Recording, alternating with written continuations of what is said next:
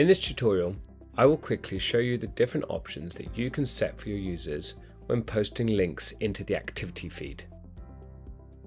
With this feature, you can post a link and then once the preview has loaded, you can then delete the link and the preview will stay to give a cleaner look to the content posted within your activity feed.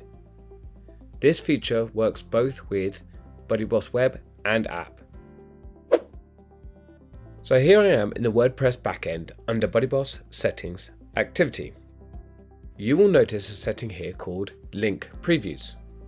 For the Retain Link Preview to work, we must first make sure this option is enabled so that when links are used in activity posts, it will display an image or an excerpt associated to that URL. Now that's set, let's go to YouTube and grab a video URL link. Now we can go to the site front end and post that copied link into an activity feed. Let's paste the link into a new post. You will see the preview start populating and now you can delete the original link leaving the preview showing. On the other side, if you prefer the link to show and the preview to be removed, then you can always select to remove the preview. So now let's post the link uh, to show on the front end what it looks like to have just the preview showing. Note that this also works in group activity feeds. So let's open a group and go to the activity feed. Then paste the same link as we did earlier. As you can see, it's also showing the link preview.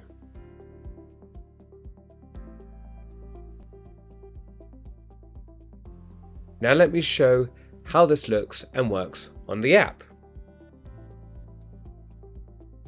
We are here in the activity feed within our app. I have already copied a link that we will use for this demonstration. Let's click on the pencil icon in the upper right corner to create a post.